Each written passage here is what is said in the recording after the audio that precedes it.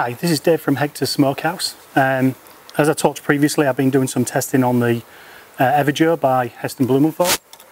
And uh, today I'm going to try and do a user rotisserie.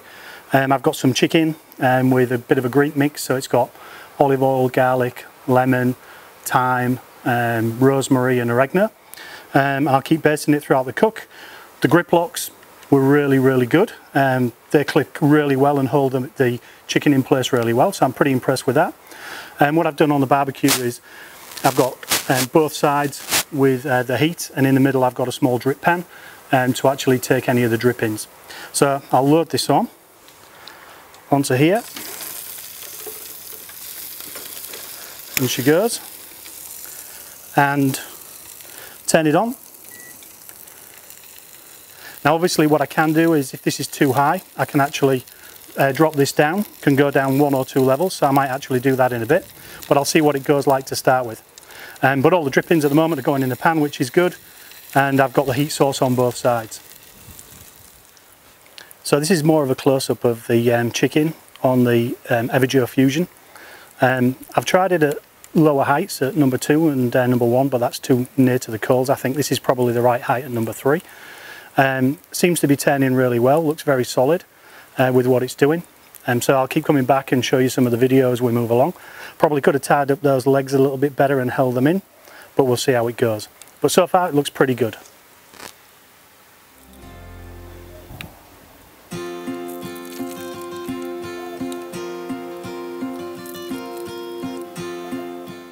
We are now about 40 minutes in um, and seems to be going pretty well. So I've been quite happy with it so far. Um, so yeah, doesn't seem too bad at the moment. I'll put a bit more marinade on.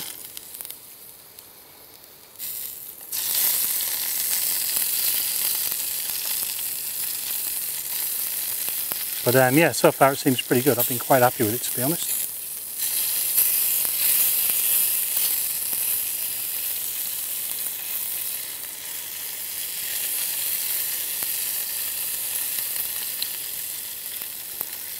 I think you'll agree, it doesn't look too bad at all.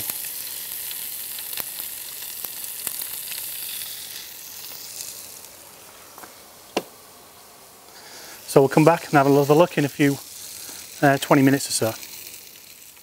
We're now just roughly at an hour. and chicken's starting to take on a nice bit of colour. Had a couple of little flare-ups, calm them down with some um, little bit of water and stuff to calm it down, but I think the chicken's actually looking really tasty now. So yeah, we're getting excited and looking forward to tasting it soon. So the chicken looks about done. Um, just turn it around a little bit and start checking the temperature.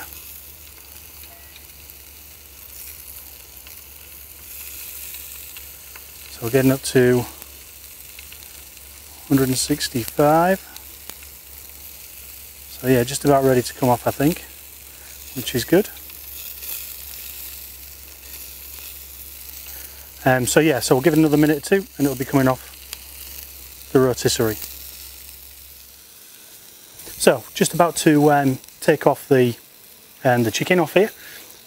Looks pretty good, around about 170 now, 178 um, around the thighs and um, into that breast meat. So it's looking pretty good from a temperature point of view. Um, learnings from this, fire can sometimes sort of uh, get away with you and you can end up with, if you're losing a lot of olive oil, a few and flare-ups. Real easy, some nice water um, in a spray bottle just to calm it down if it actually starts.